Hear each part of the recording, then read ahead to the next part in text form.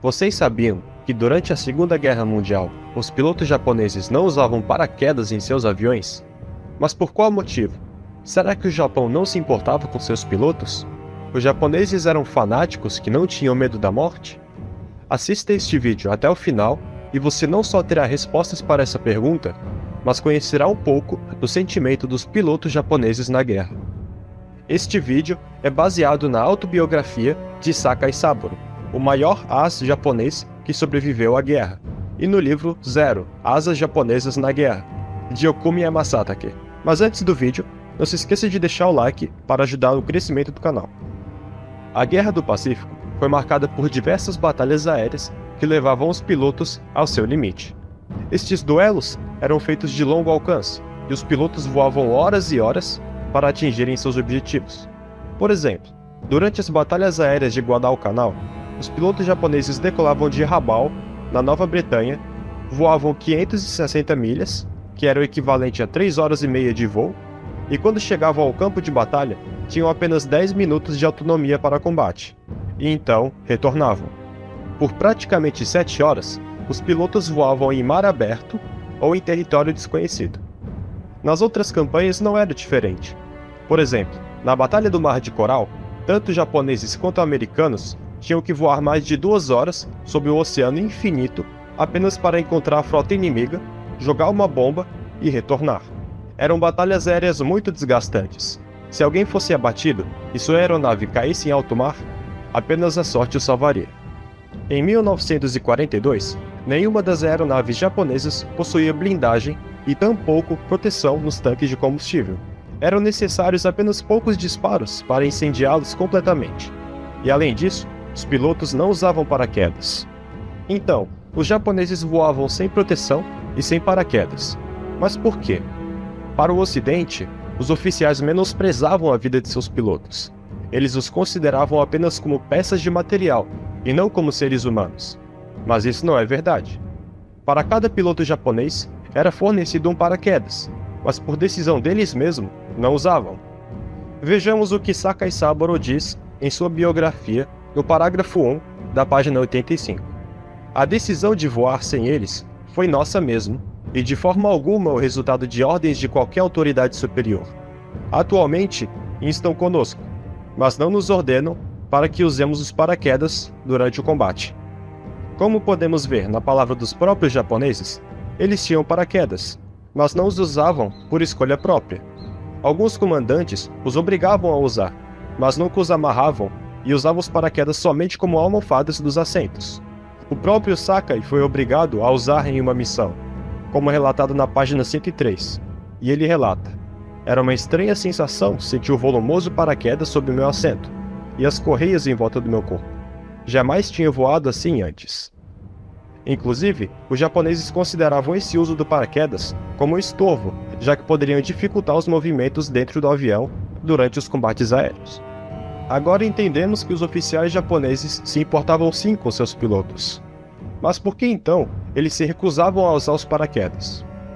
Como eu disse anteriormente, as batalhas aéreas no Teatro de Operações do Pacífico foram marcadas por horas e horas de voo apenas para chegarem a seus objetivos. E para os japoneses, a maioria dos combates ocorria em território inimigo. Saltar de paraquedas estava inteiramente fora de cogitação, pois isso significa deixar ser capturado. A palavra prisioneiro de guerra era detestada pelos japoneses e não era encontrada em nenhum código militar japonês. Em outras palavras, o homem que não retornasse de um voo deveria ter morrido. Nenhum piloto pode permitir a sua própria captura pelo inimigo. É por causa disso que muitos pilotos japoneses, quando estavam com seu aparelho avariado, se jogavam em cima do inimigo, essas ações não podem ser confundidas com as unidades especiais kamikaze, que são coisas completamente diferentes. Na página 171, primeiro parágrafo, Sakai diz o seguinte: Na marinha japonesa existia uma convenção não escrita de que, uma vez que o piloto estivesse com o avião avariado em alto mar, longe de sua base, poderia mergulhar contra o transporte ou navio de guerra do inimigo, desde que não tivesse a possibilidade de regressar os japoneses não foram os únicos a adotarem essas normas. Por exemplo, na Batalha de Midway, um B-26 americano se jogou em cima do Akagi, mas errou por pouco. Estas ações são feitas quando não tem mais o que fazer. Já nas missões kamikaze, eles eram enviados para morrer, portanto, não podem ser confundidos. Vamos agora entender o caso dos Estados Unidos. Os americanos, depois de cada missão, enviavam seus PBY Catalina em missões de busca nas áreas onde seus pilotos haviam lutado, procurando e recolhendo tripulantes que pudessem estar à deriva. Era uma tarefa de alto risco, tendo em vista que os Catalina ficavam muito vulneráveis aos caças japoneses, mas demonstrava que cada vida norte-americana era insubstituível. Os próprios japoneses se impressionavam com essas missões de salvamento. Mas por que os japoneses não faziam isso também? O alto comando japonês era muito temeroso em enviar aeronaves para essas arriscadas missões, com medo de perderem ainda mais pilotos. Para os japoneses, não era tolerável a possível perda de um barco voador apenas para resgatar alguns soldados caídos. Mas e então, o soldado japonês que caía de seu avião em alto mar era deixado para morrer? Era traído pelos seus amigos? Na página 245, parágrafo 1, Okumiya comenta que essas atitudes não indicavam a falta de compaixão de seus homens, mas que eles não esperavam atitudes benevolentes de seus companheiros. Quando o piloto inflava seu bote, sabia que a sua vida dependia apenas de suas próprias mãos, e estoicamente eles aceitavam o abandono. Os pilotos japoneses eram enviados para a guerra com aviões sem blindagem e sem paraquedas em missões que duravam horas e horas de voo.